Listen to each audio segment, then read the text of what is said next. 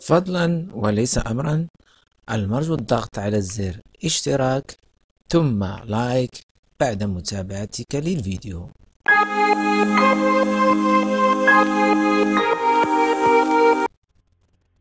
السلام عليكم. اليوم سأحدثكم عن عالم من علماء المغرب وهو عالم جغرافي استخدم البوصلة والخرائط. إنه علي بن محمد بن علي أبو الحسن التمكروتي ولد بمدينة مراكش ببلدة تامكروت بوادي درعا. ولد سنة 1534 ميلادية.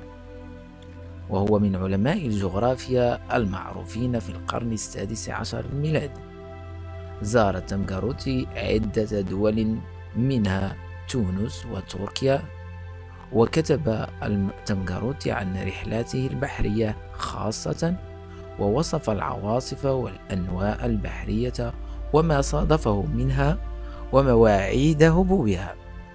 ووصف كذلك بالتفصيل أسواق مدينة إسطنبول التركية من حيث البضائع الموجودة بها في ذلك الوقت بالإضافة إلى المكتبات الضخمة الممتلئة بالكتب والمخطوطات العربية. ومن أشهر مؤلفاته كتاب النفحة المسكية في السفارة التركية وضمنه ذكرياته عن رحلته إلى تركيا بأمر من السلطان المنصور. وقد ترجم هذا الكتاب إلى اللغة الفرنسية وأصبح معروفا لدى علماء الغرب.